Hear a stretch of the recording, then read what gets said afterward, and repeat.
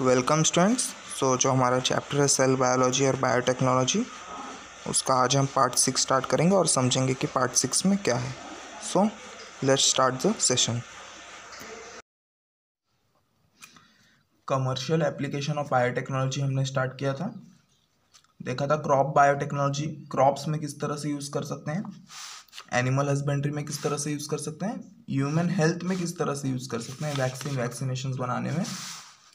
Treatment interferons gene therapy cloning. Cloning के दो type देखे थे स्टूडेंट्स रिप्रोडक्टिव क्लोनिंग और थेरोपेटिक क्लोनिंग। उसके बाद हमने इंडस्ट्रियल प्रोडक्ट्स में देखा था किस तरह से बायोटेक्नोलॉजी का यूज़ है और इन्वायरमेंट एंड बायोटेक्नोलॉजी में किस तरह से यूज़ हो रहा था हमारा बायोटेक्नोलॉजी। अब हम देखेंगे फ़ूड। फ़ूड में भी बायोटेक्नोलॉजी का क्या रोल है। सो so, आई होप आपको इतना जो रोल्स हैं बायोटेक्नोलॉजी के एप्लीकेशन है वो समझा होगा स्टूडेंट्स सो अब हम देखते हैं कि फ़ूड में क्या रोल है फ़ूड में क्या एप्लीकेशन है हमारे बायोटेक्नोलॉजी का. सो so, देखते हैं. Food item like bread cheese wine beer yoghurt vinegar are produced with the help of microorganism तो कुछ फ़ूड मटेरियल्स स्टूडेंट जैसे कि ब्रेड हो गए चीज़ वाइन बियर योगर्ट और विनेगर इस टाइप के जो फ़ूड है, वो कैसे बनाए जाते हैं?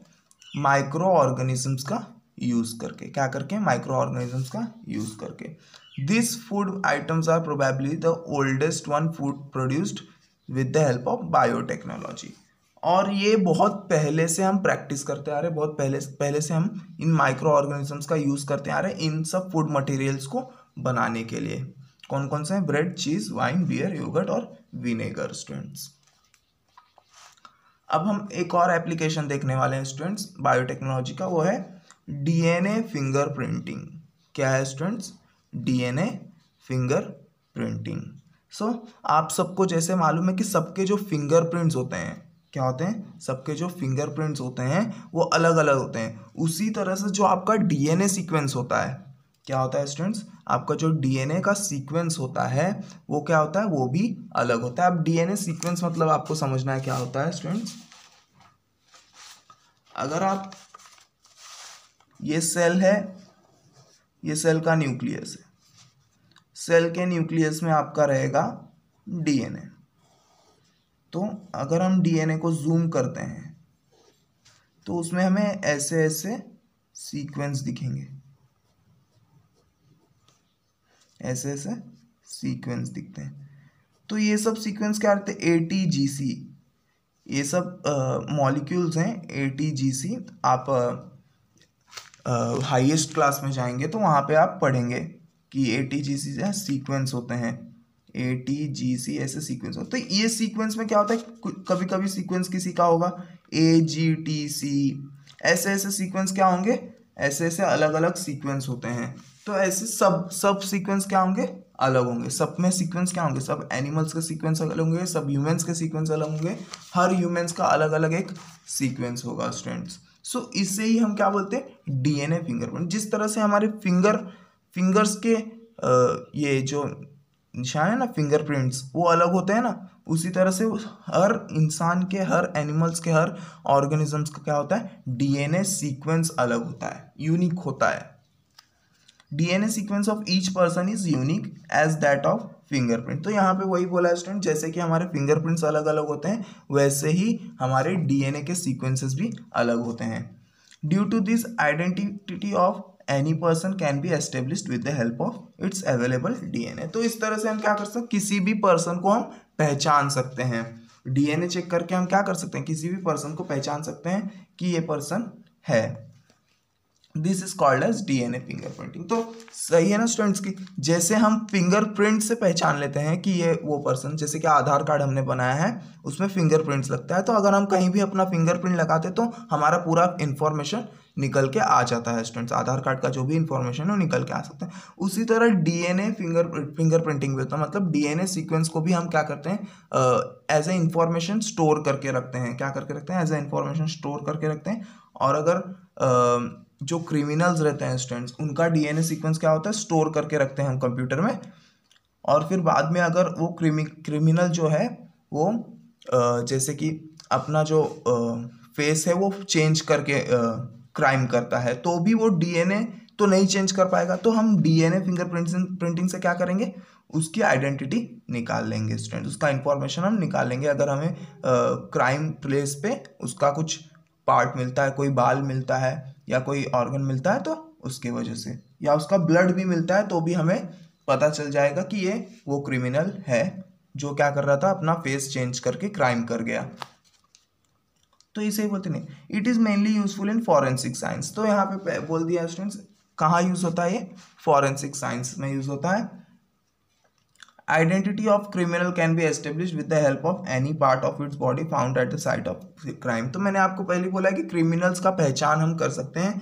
अगर क्राइम प्लेस पे हमें उनका कोई भी पार्ट मिलता है, कोई भी हेयर का हेयर भी अगर मिल गया, हमें ब्लड का कोई ड्रॉप भी मिल गया तो भी हम पहचान लेंगे क्या करके? डीएनए फिंगरप्रिंटिंग करके। Similarly identity of father of any child can be established और हम फादर के डीएनए और चाइल्ड का डीएनए मैच करके हम क्या कर सकते हैं? बता सकते हैं कि इस चाइल्ड का फादर यही है students this research in is perform in centre for DNA fingerprinting and diagnostic Hyderabad तो ये कहाँ पे होता है स्टूडेंट्स ये जहाँ पे डीएनए फिंगरप्रिंटिंग का सेंटर है वो कहाँ है? हैदराबाद में स्टूडेंट्स सो so, वहाँ पे ये रिसर्च होता है स्टूडेंट्स डीएनए फिंगरप्रिंटिंग का सो so, ये सब किसके हेल्प से हो रहा है? ये सब बायोटेक्नोलॉजी के हेल्प से हो रहा है स्टूडेंट्स क्या हो रहा है? बायोटेक्नोलॉजी का एप्लीकेशन है ये सब जो डीएनए फिंगरप्रिंटिंग फ़ूड बायोटेक्नोलॉजी जितना भी आपने पढ़ा है वो सब बायोटेक्नोलॉजी का क्या है? बायोटेक्नोलॉजी का ये एप्लीकेशन है स्टूडेंट्स अगर आप बायोटेक्नोलॉजी इन इन केस अगर आप फ्यूचर में बायोटेक्नोलॉजी फ़ील्ड में जाते तो आपको इतने सारे चीज़ें पढ़ने मिलेंगी और भी बहुत सारी चीज़ें तब तक इन्वेंट हो चुकी होंगी स्टूडेंट्स आपको वो सारी चीज़ें स्टडी करने मिलेंगी और बहुत ज़्यादा इंपॉर्टेंस आपको समझ में आएगा बायोटेक्नोलॉजी का। सो so, यहाँ पे एक छोटा सा बॉक्स दिया है students cleaning of oil spillage in ocean तो आपने बहुत बहुत बार सुना होगा कि जो बड़ी बड़ी शिप से कार्गो हैं जो बड़ी बड़ी वो क्या हो गई हैं? वो पलट गई हैं और जो पूरा ऑयल है स्टूडेंट्स वो क्या हुआ है? पूरे सी में फैल गया है स्टूडेंट्स तो ऑयल का डेंसिटी वाटर से कम होता है तो क्या होता है? ऑयल फ्लो करता है वाटर के ऊपर, जिसकी वजह से क्या होता है सनलाइट अंदर तक नहीं जा पाती है और ना ही जो वाटर वेपर्स है वो बाहर आ पाते हैं स्टूडेंट्स सो इससे क्या होता है, इससे जो अंदर एक्वेटिक एनिमल्स हैं, उनको हार्म होने लगता है. क्या होता है हार्म होना, और जो ऑयल से अलग से हार्म हो रहा है, वो तो होने ही वाला है. और अगर हमने उस ऑयल को ऐसे ही छोड़े तो कम से कम दस से बीस साल लगते हैं स्टूडेंट्स उस ऑयल को हटने के लिए पूरे पानी में से. पूरे पानी में क्या होने से उस ऑयल को हटने के लिए दस से बीस साल लग जाएँगे स्टूडेंट्स सो देखते हैं कि कैसे क्लीन किया जाता है उस ऑयल को। ओशियन से कैसे क्लीन किया जाता है वो देखते हैं। If oil spillage occurs it adversely affect the marine life now cleaning the ocean without any harm to environment in cheaper way has become possible with the help of oil digesting and fast multiplying bacteria so आपने सुना ही होगा कि oil spill हो जाता है और समुद्र वगैरह में सी वगैरह में। सो so, हमें उसे साफ़ करना है। अब हम उसे साफ़ कैसे? और हमें साफ़ भी ऐसा करना है कि हम किसी एक्वेटिक एनिमल को कुछ हार्म ना पहुंचाएँ ना हम इन्वायरमेंट को कोई हार्म पहुंचाएँ। तो हमें साफ़ भी ये ध्यान दे के करना है कि इन्वायरमेंट को कुछ हार्म नहीं होना चाहिए ना ज़्यादा खर्चा हो हमारा। तो क्या क्या करेंगे हम? हम ऑयल डाइजेस्टिंग बैक्टीरियाज का यूज़ करेंगे और ऐसे बैक्टीरियाज का यूज़ करेंगे जो फास्ट मल्टीप्लाई हो। क्या हो? जो फास्ट क्या हो? मल्टीप्लाई हो। तो ये सब कैरेक्टरिस्टिक्स है वो हम क्या करेंगे? वो बायोटेक्नोलॉजी के हेल्प से उन बैक्टीरिया में जनरेट करेंगे। उन बैक्टीरिया में क्या करेंगे? प्रोड्यूस करेंगे। तो हम ऐसे बैक्टीरियाज यूज़ करेंगे जो ऑयल डाइजेस्ट कर जाए और फास्ट मल्टीप्लाई भी हो। सो so, इससे क्या होगा स्टूडेंट्स इससे हमारे जो इन्वायरमेंट है उसको भी हार्म नहीं होगा और एक्वेटिक एनिमल्स को भी हार्म नहीं होने वाला है स्टूडेंट्स सो so, इस तरह से हम ऑयल स्पिलेज को साफ़ करते हैं ऑयल स्पिलेज को क्लीन करते हैं हमारे सी वगैरह से. आगे देखते हैं क्या है? India born American citizen and doctors Anand Mohan Chakravarty had for the first time suggested the use of such microbes तो एक अमेरिकन सिटीजन था एक अमेरिकन का बंदा था जो इंडिया में uh, पैदा हुआ था और साइंटिस्ट डॉक्टर आनंद मोहन चक्रवर्ती थे, जिन्होंने पहली बार बताया था कि माइक्रोब्स का यूज़ हम ऑयल स्पिल क्लीन करने के लिए कर सकते हैं, students. Naturally the credit of this discovery goes to him. तो इसका जो डिस्कवरी हुआ है, वो आनंद मोहन चक्रवर्ती जी ने किया है कि उन्होंने बताया कि हम माइक्रोब्स का यूज़ कर सकते हैं ऑयल साफ़ करने के लिए जो हमारा ऑयल स्पिल हुआ है। सीज में हम उससे साफ़ कर सकते हैं क्या करके? माइक्रोब्स का यूज़ करके स्टूडेंट्स सो so, ये सब क्या है? एक टाइप से बायोटेक्नोलॉजी का सब एप्लीकेशन है स्टूडेंट्स इस तरह से हम बायोटेक्नोलॉजी को यूज़ कर सकते हैं बहुत सारे जगह पे स्टूडेंट्स अब हम देखते हैं कुछ important stages in agriculture development students क्या है? Important stages in agriculture development so आपको जैसे कि पता है कि इंडिया जो है इंडिया जो है वो एग्रीकल्चरल लैंड है स्टूडेंट्स क्या है? एग्रीकल्चरल लैंड है।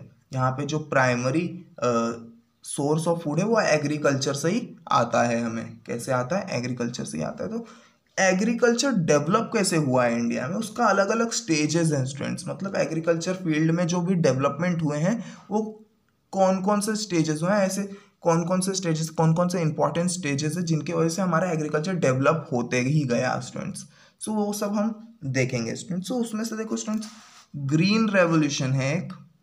क्या students green revolution so green revolution आपने सुना ही होगा, आज हम पढ़ लेते हैं कि ग्रीन रेवोल्यूशन होता क्या है और ग्रीन रेवोल्यूशन की वजह से कैसे हमारे एग्रीकल्चर में डेवलपमेंट हुआ है स्टूडेंट्स वो हम देखते हैं।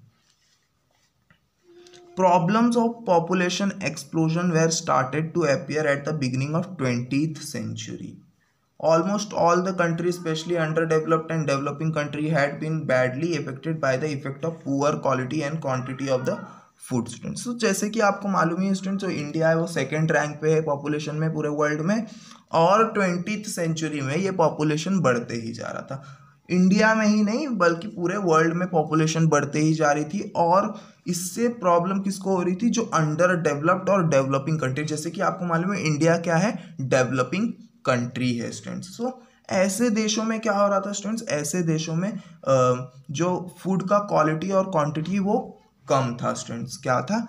फ़ूड का क्वांटिटी भी कम था क्वालिटी भी कम था तो क्या कर रहे थे? पॉपुलेशन फ़ीड नहीं हो पा रही थी। क्या हो रही थी स्टूडेंट्स पॉपुलेशन को फ़ीड नहीं कर पा रहा था वो कंट्री क्योंकि उसका पॉपुलेशन बढ़ते ही जा रहा था student various method applied for harvesting maximum milled from minimum land are collectively called as green revolution तो आपको समझना है क्या है? हमने बहुत सारे ऐसे मेथड्स का यूज़ करना स्टार्ट कर दिया। क्या क्या क्या किया स्टूडेंट्स हमने ऐसे बहुत सारे मेथड्स का यूज़ करना स्टार्ट कर दिया, जो क्या कर सके, जो कम जगह में ज़्यादा एल्ड दे सके, कम जगह में ज़्यादा क्रॉप्स प्रोड्यूस कर सके, कम जगह में ज़्यादा फ़ूड प्रोड्यूस कर सकते हैं। ऐसे मेथड्स हमने जब यूज़ करना स्टार्ट किया तो हम उसे क्या बोलते हैं? ग्रीन रेवोल्यूशन बोलते हैं। क्या बोलते हैं स्टूडेंट्स ग्रीन रेवोल्यूशन उसे हमने नाम क्या दिया है? ग्रीन रेवोल्यूशन सो आपको एक बार फिर से मैं पढ़ के बता देता हूँ। Various methods applied for harvesting maximum yield from minimum land are collectively called as green revolution stand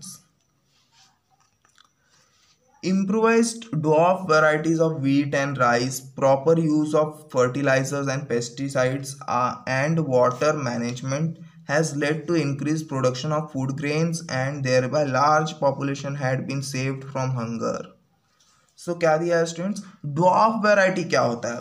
dwarf पहले जो वीट और राइस के जो प्लांट्स होते थे ना स्टूडेंट्स वो काफ़ी बड़े बड़े और लंबे लंबे होते थे।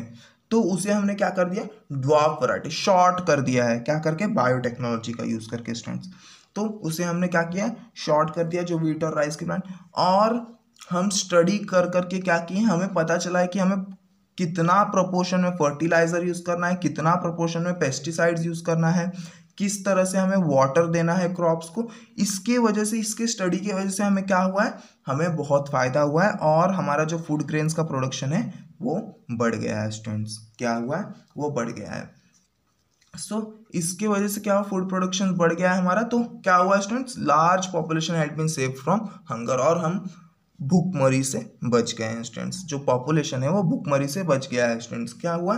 वो हंगर के वजह से बच गया है स्टूडेंट्स हंगर से मरने से बच गया है सो so, इस तरह से ग्रीन रेवोल्यूशन आया था students doctor Norman Borlaug from USA and Dr. M.S. Swaminathan from India had valuable contribution in green revolution. तो ग्रीन रेवोल्यूशन सबसे बड़ा कंट्रीब्यूशन था जो कि नॉर्मन बॉर्लॉग जो यूएसए से हैं और डॉक्टर एम एस स्वामीनाथन जो इंडिया से तो प्राउड वाली बात यह है कि इसमें इंडियन बंदा भी शामिल था इंडियन साइंटिस्ट भी शामिल था ग्रीन रेवोल्यूशन में कंट्रीब्यूशन देने के लिए। सो so, ये दोनों का बहुत बड़ा रोल था ग्रीन रेवोल्यूशन को आगे तक ले जाने के लिए और हमारे एग्रीकल्चर को इम्प्रूव करने के लिए ताकि हमें ज़्यादा प्रोडक्शन मिल सके ग्रेन का फ़ूड ग्रेन्स का। तो इसमें क्या हुआ था मैं बताता हूँ ग्रीन रेवोल्यूशन में हमने बहुत सारे नए टाइप्स के हाइब्रिड टाइप्स के सीड्स का यूज़ किया था स्टूडेंट्स बहुत सारे अलग अलग जैसे कि इरिगेशन फैसिलिटीज़ का यूज़ किया था फर्टिलाइजर्स दूसरे यूज़ किए थे पेस्टिसाइड दूसरे यूज़ किए थे अच्छे वेराइटीज़ के वीट और राइस यूज़ किए थे जिसकी वजह से क्या हो रहा था स्टूडेंट्स फ़ूड प्रोडक्शन इंक्रीज होते गया स्टूडेंट्स फ़ूड प्रोडक्शन इंक्रीज होते गया तो हमने पॉपुलेशन को फ़ीड किया और पॉपुलेशन भूखमरी से बच गई स्टूडेंट्स सो so, इस तरह से ग्रीन रेवोल्यूशन था वो चला स्टूडेंट्स और एग्रीकल्चर में एक नया हमें सक्सेसफुल मिल चुका था स्टूडेंट्स और एग्रीकल्चर हमारे इंडिया में और भी बढ़ता चला गया वर्ल्ड में और भी बढ़ता चला गया और बड़े अच्छे तरीके से, बहुत अच्छे क्वालिटी से और क्वांटिटी से स्टूडेंट्स सो आगे देखते हैं क्या है। Various research institute and laboratories are engage in development of new varieties of various crop through research example Indian agriculture research institute New Delhi National Citrus Research Institute, Nagpur and allied branches, Indian Institute of Science, National Pomegranate Research Institute, Solapur. तो students बहुत सारे research institute और laboratories है जो क्या करती थी नए नए टाइप्स के, नए नए टाइप्स के बहुत सारे क्या करते क्रॉप्स बनाते थे सीड्स बनाते थे, जो क्या करते थे, हम यूज़ करते थे हमारे एग्रीकल्चर के लिए। तो कौन कौन से लेबोरेटरीज और इंस्टीट्यूट है, वो देख लेते हैं। इंडियन एग्रीकल्चर रिसर्च इंस्टीट्यूट कहाँ पे ये? न्यू दिल्ली में है students national citrus research institute कहाँ पे? नागपुर में, और इसके ब्रांचेज भी हैं। क्या है? अलाइड ब्रांचेस भी हैं इसके अलग अलग जगह पे।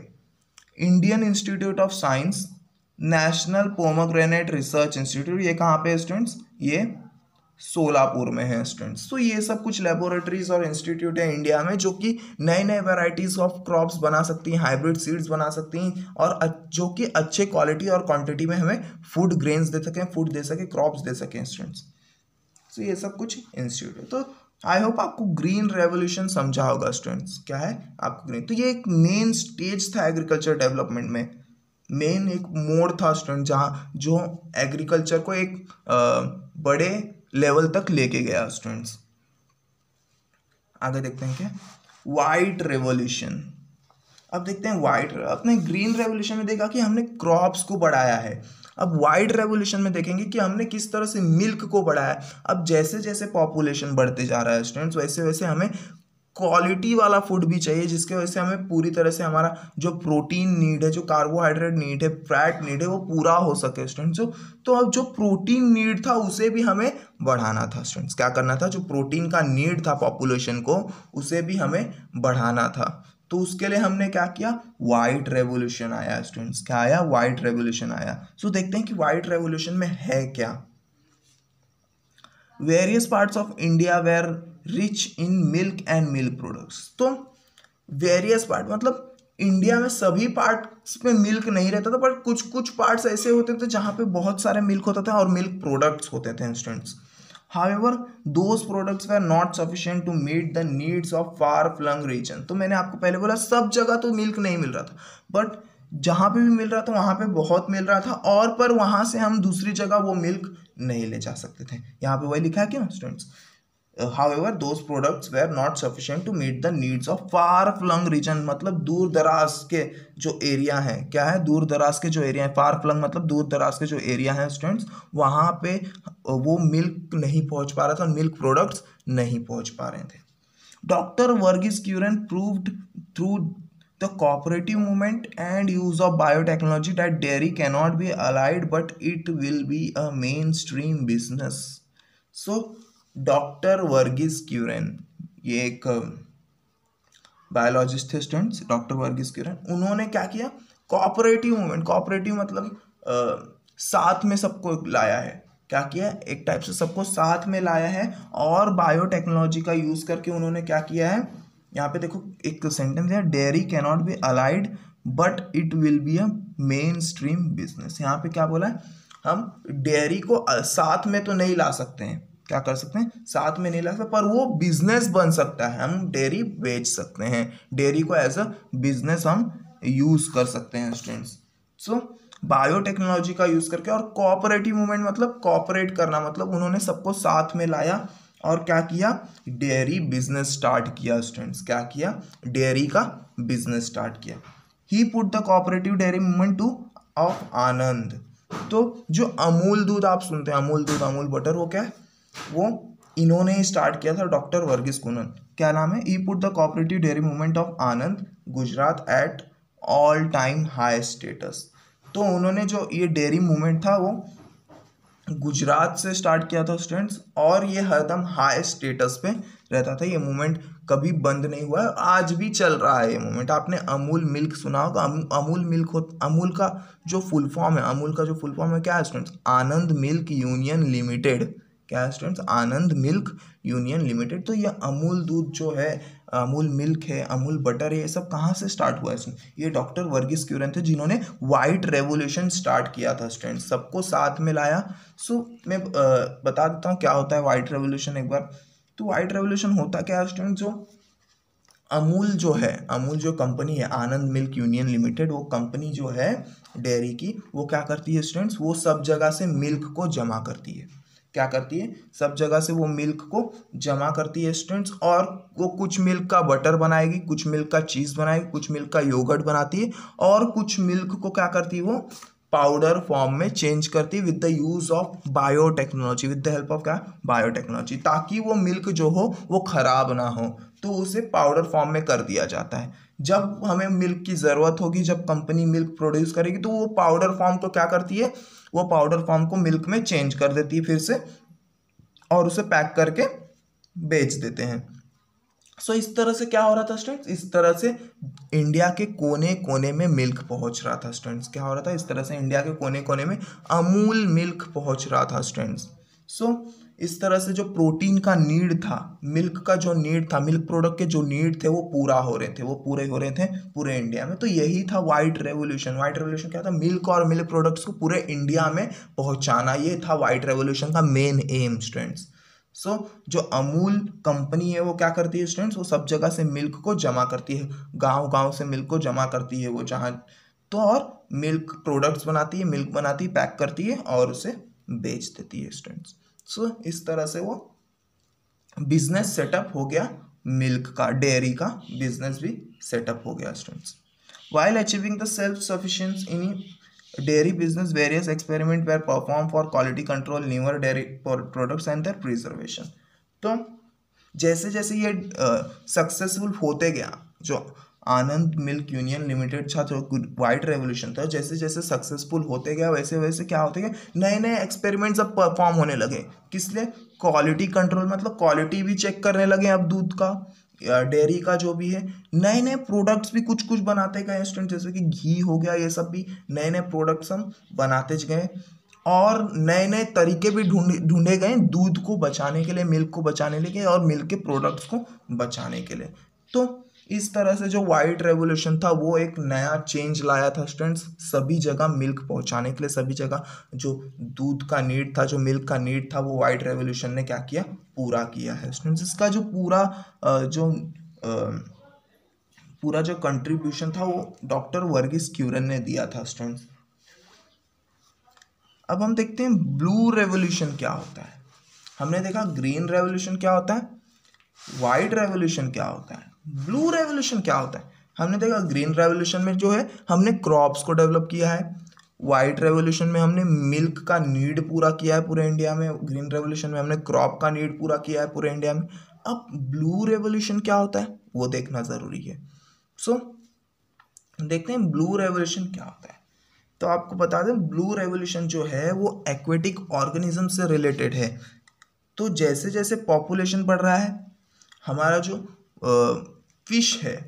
जो फ़िश है, वो भी एक फ़ूड की तरह यूज़ होता है हमारे इंडिया में। तो फ़िश का भी प्रोडक्शन बढ़ना इंपॉर्टेंट है एक्वेटिक लाइफ का भी प्रोडक्शन बढ़ना इंपॉर्टेंट है। तो उसके लिए ब्लू रेवोल्यूशन आया था स्टूडेंट्स क्या आया था?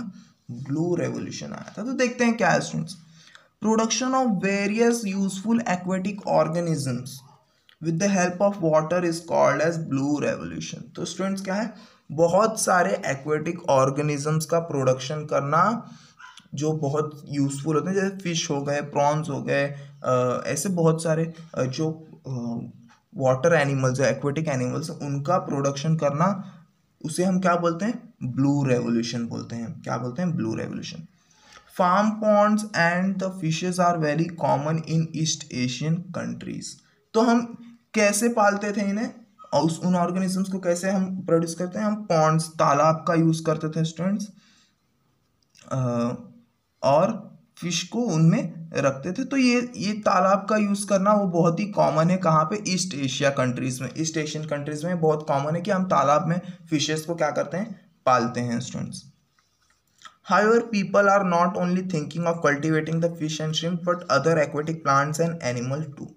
तो जो जो आ, हमारी पॉपुलेशन है वो क्या क्या कर रही है स्टूडेंट्स वो सिर्फ़ फ़िश और जो श्रिम्स है श्रिम्स उन्हें ही कल्टीवेट नहीं कर रही वो दूसरे एक्वेटिक एनिमल्स और प्लांट्स को भी क्या कर रहे हैं? कल्टीवेट कर रहे हैं students government of India has work to increase the production by encouraging the people for pisciculture by launching the program Neel Kranti mission 2016 50 percent to 100 percent subsidies are offered in the so students जो government of India है, उसने क्या किया है students उसने इसका production बढ़ाने के लिए क्या किया है? उसने जो हमारे गवर्नमेंट है 2016 में, नील क्रांति मिशन, नील क्रांति मिशन क्या करता है स्टूडेंट जो पीसी कल्चर है पीसी कल्चर मतलब होता है स्टूडेंट्स फिशरी फ़िश और एक्वेटिक एनिमल्स को जो हम पालते हैं, उसे हम बोलते हैं फिशी कल्चर पीसी कल्चर बोलते हैं। तो पीसी कल्चर को इंकरेज करने के लिए नील नील क्रांति मिशन लॉन्च हुआ था स्टूडेंट्स इसमें क्या होता था स्टूडेंट्स जो हमारे फिशरमैन्स होते थे जो फ़िश को पालते थे, उन्हें सब्सिडीज भी मिलती थी, उन्हें कुछ पैसे भी मिलते थे, ये पीसी कल्चर स्टार्ट करने के लिए नील क्रांति मिशन के तहत उन्हें कुछ पैसे मिलते थे पीसी कल्चर को स्टार्ट करने के लिए।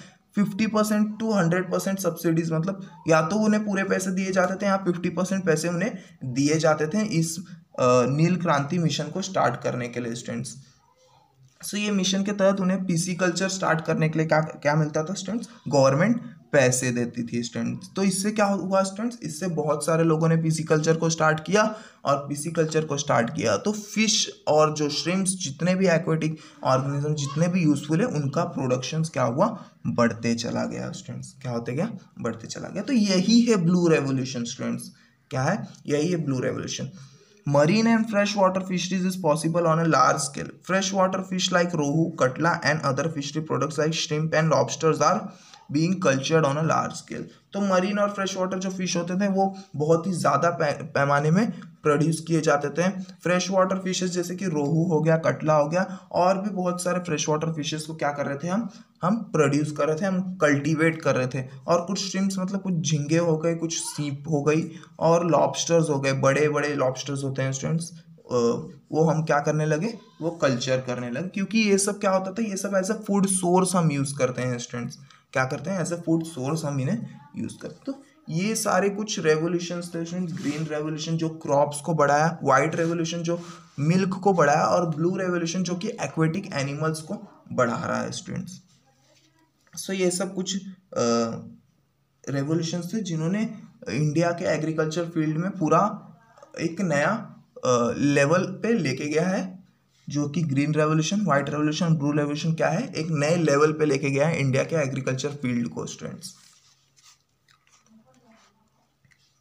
सो अब हम देखते हैं फर्टिलाइजर्स क्या students fertiliser two types of fertilisers are used in agricultures one of those is organic manure and other are chemical fertilisers तो फर्टिलाइजर्स भी दो टाइप के होते हैं स्टूडेंट्स क्या होते हैं? दो टाइप के होते हैं। एक तो ऑर्गेनिक मैन्योर होता है। ऑर्गेनिक मैन्योर मतलब होता है जो भी आपका ऑर्गेनिक वेस्ट है, आपके काउडंग्स वगैरह हैं या ह्यूमन वेस्ट है, जो भी आपके घर का वेस्ट है डिस्पोजेबल वेस्ट है डिग्रेडेबल वेस्ट है, उसे हम क्या बोलते हैं? ऑर्गेनिक मैन्योर बोलते हैं। तो फर्टिलाइज़र मतलब होता है खाद। हम जिसे बोलते हैं खाद। तो एक तो वो हो गया स्टूडेंट्स और दूसरा हो गया हमने केमिकली फर्टिलाइज़र बनाए हैं। क्या किया हमने? केमिकल से फर्टिलाइजर्स बनाए हैं। तो ऐसे दो टाइप के फर्टिलाइजर्स होते हैं students water holding capacity of soil improves with soil conservation due to use of manures तो जब हम ऑर्गेनिक मैन्योर्स का यूज़ करते हैं तो जो सॉइल का वाटर होल्डिंग कैपेसिटी वो क्या होता है? इंक्रीज होता है स्टूडेंट्स पर केमिकल फर्टिलाइजर्स में ऐसा कुछ नहीं होता है स्टूडेंट्स सो so, इसलिए बोला जाता है कि ऑर्गेनिक मैन्योर्स को ज़्यादा यूज़ करो और केमिकल फर्टिलाइजर्स को कम यूज़ किया करो। तो ये इसीलिए होता है क्योंकि वाटर होल्डिंग कैपेसिटी जब हम केमिकल फर्टिलाइज़र बार बार यूज़ करने लगते हैं तो water holding capacity of soil क्या होती है? ख़त्म हो जाए, होने लगती है। पर जब आप ऑर्गेनिक मैन्योर यूज़ करते हैं तो होल्डिंग कैपेसिटी क्या होती है? बढ़ती है students